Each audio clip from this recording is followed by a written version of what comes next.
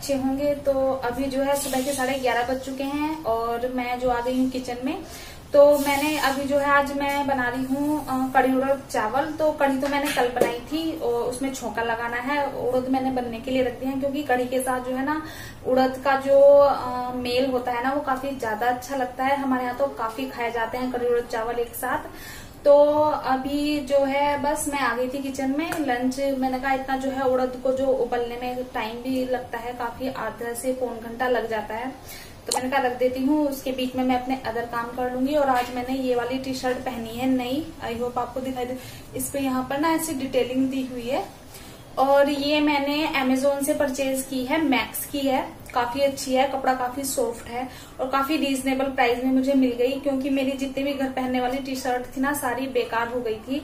तो चलिए मैंने अब उड़द रख दी है बनने अब मुझे जो और काम करने हैं वो मैं कर लेती हूँ। हाँ मैं आपसे एक बात और करना कि आजकल जो वेदर है ना काफ़ी चेंज हो गया है। आ, काफ़ी अच्छी धूप खिल रही है लेकिन मौसम में गर्मी नहीं है। आ, अच्छी हवा चल रही है और मतलब सुहावना सा मौसम हो गया है। मतलब ठंड के आने की जो है दस्तक सी आ गई है।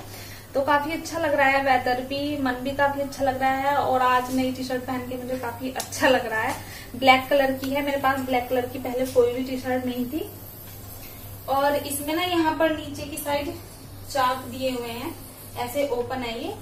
तो काफ़ी अच्छी लगी मुझे। अगर आप चाहते हैं इसे परचेज करना तो मैं इसका लिंक जो है डिस्क्रिप्शन बॉक्स में डाल दूँगी, आप चेक कर सकते हैं। मैंने कढ़ी कल तो इसमें मुझे छोंका लगाना है और ये मैंने अभी इमली निकाल कर रखी है क्योंकि मैं इसकी आज मीठी वाली चटनी बनाने वाली हूँ। और मेरा काफ़ी दिनों से जो है चाट खाने का मन कर रहा था तो देखते हैं घर बनाती हूँ या फिर ऑनलाइन जो गोलगप्पे नहीं आते हैं वो मंगाती हूँ।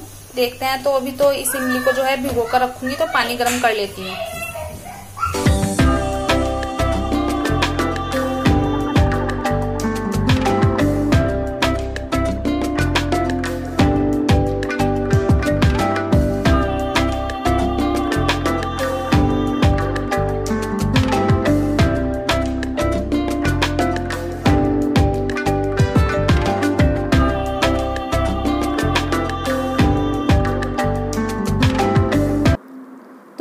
बस यहाँ पर जो है मैं इमली को जल्दी इनके जो छिलके हैं उनको उतार दूँगी और जो इसके अंदर से पल्प निकलेगा उसको मैं भिगो कर रख दूँगी गर्म पानी में। तो ये इमली मैंने बिग बास्केट से परचेज़ की थी और ये ढाई सौ ग्राम के करीब इमली थी तो उसमें से ये निकली हैं और अब बस मेरा पानी भी गर्म है तो मैं इसे जो है पानी में डालकर रख दूँगी। और इसे इसी प्लेट से ढक के छोड़ दूँगी तो शाम तक ये अच्छे से जो है पानी में घुल जाएगी। उसके बाद में इमली रेडी करूँगी और ये हमारा यहाँ पर जो है लंच रेडी हो चुका था। मैंने जो है उड़द की रेसिपी आपके साथ शेयर नहीं की क्योंकि कई बार कर चुकी हूँ। और अब मैं मिल रही हूँ आपसे सीधे इवनिंग में तो अभी पाँच, साढ़े पाँच बजे का टाइम था तो सबसे पहले मैं डुग्गू को यहाँ पर मिल्क दूँगी क्योंकि डुग्गू अब सिर्फ़ इसी टाइम मिल्क पीता है। तो मैं इस टाइम उसे मिल्क दे दूँगी और उसके बाद जो है अपनी चाय को रेडी करूँगी।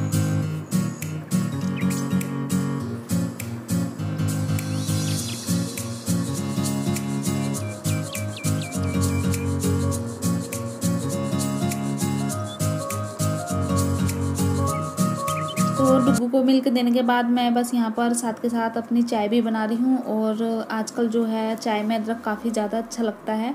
वैसे तो इस बार जो है पूरा सीज़न ही अदरक की चाय पी है इस कोरोना की वजह से। जब ज़्यादा गर्मी हुई तभी जो है इग्नोर की है। और आज मेरे हस्बैंड का मन था वो जो रेडीमेड चिप्स आते हैं उनको खाने का तो मैं बस उन्हें यहाँ पर फ्राई कर रही हूँ। और आप सोच रहे होंगे कि मैं इतने छोटे से इस बर्तन में कैसे फ्राई करूँगी तो वो मैं आपको आगे बताऊँगी। तो मैं जो है फ्राई ही कर रही थी, किसी बीच अमेज़ोन से कुछ जो है प्रोडक्ट आ गया था तो मैं उसे लेने चली गई थी। और उसके बाद मैं यहाँ पर अच्छे से हैंड वॉश कर लूँगी।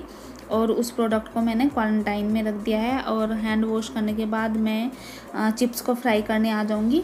तो दूसरी साइड चाय भी जो है बॉईल हो गई थी तो मैंने उसमें पहले मिल्क डाल दिया है, उसके बाद यहाँ पर चिप्स भूनूँगी। तो मैं ऐसे ही भूनती हूँ चिप्स इससे क्या होता है, एक तो जो है आपका ऑयल है, उसकी बचत होती है और आपकी गैस की भी बचत होती है। तो मैं, जैसे कि आप सबको पता ही है, रिफ़ाइंड में ये सब चीज़ें जो हैं, फ्राई की जाती हैं तो मैं एक बार यूज़ किया हुआ फ्राइन रिफ़ाइंड दोबारा यूज़ नहीं करती हूँ तो इसलिए मैं इन चिप्स को ऐसे ही फ्राई करती हूँ। और बस देखिए, यहाँ पर मेरे चिप्स भुनकर कितने अच्छे से रेडी हो गए हैं और मेरी चाय भी बन गई थी। तो अब हम चाय पियेंगे और चिप्स को एंजॉय करेंगे तो आप भी आ जाइए चाय पीने और चिप्स खाने। तो चाय पीते पीते जो है शाम हो गई थी बिल्कुल और मैंने जो इमली भिगो के रखी थी दोपहर में, वो भी अच्छे से जो है फूल गई थी गर्म पानी में। तो अब मैं यहाँ पर इसे रेडी करूँगी और आप में से बताइएगा कि किस किस ने ये चटनी जो है शादी से पहले बनाई है। मैंने तो शादी से पहले कभी नहीं बनाई थी। तो याद आ मतलब मुझे वो दिन याद आते हैं जब शादी से पहले मतलब किसी भी चीज़ की ज़िम्मेदारी नहीं होती है लड़कियों पर और माँ अगर कहती भी है कि ये काम करना सीख लो तो पापा हमेशा यही कहते हैं कि जब ज़िम्मेदारी आएगी तो सब सीख जाएँगे। तो मुझे वो बात याद आती है कि मतलब ज़िम्मेदारी या जो होती हैं वो एक लड़की को एक बहू कितनी जल्दी बना देती हैं। मतलब एक लड़की जो अपने घर में हर काम को लेकर इतनी आ, मतलब बेफिक्र रहती थी लेकिन ज़िम्मेदारी आते ही वो इतनी जो है रेस्पॉन्सिबल हो जाती है हर चीज़ के लिए आ, अपनी गृहस्थी को संभाल लेती है। तो काफ़ी अच्छा लगता है ये सब देखकर कि ज़िम्मेदारी आने पर एक जो बेटी है वो खुद को एक अच्छी बहू साबित करती है। तो बस यहाँ पर जो है मैं अब चटनी बनाने की तैयारी करने लगी हूँ। तो मैंने बहुत थोड़ा सा ऑयल लिया है, उसमें जीरा डाला है और थोड़ा सा हींग डाला है। और बस उसमें जो मेरा इमली का पल्प था, उसको डाल दिया है और इस चटनी में गुड़ काफ़ी मतलब अच्छी क्वांटिटी में जाता है। तो मैंने यहाँ पर एक कटोरी भरकर गुड़ लिया है और इसको अब यहाँ पर चलाकर अच्छे से इसमें मेल्ट होने दूँगी। उसके बाद जो है, मैंने सोचा कि ये पक रहा है इतना तो मैं अपनी जो है डिनर की प्रिपरेशन भी कर लेती हूँ। तो डिनर सिर्फ़ मैं और डुग्गू ही करते हैं, मेरे हस्बैंड डिनर नहीं करते हैं तो बस दोनों के लिए ही सब्ज़ी बना रही हूँ, क्योंकि आप सोचेंगे कि इतने छोटा सा बैंगन बना रहे हो तो बस इसलिए क्योंकि हम दोनों ही खाते हैं। तो अब मैंने जो मेरा गुड़ था वो मेल्ट हो गया तो अब मैं इसमें मसाले ऐड कर रही हूँ, जैसे लाल मिर्च पाउडर, जीरा पाउडर और धनिया पाउडर।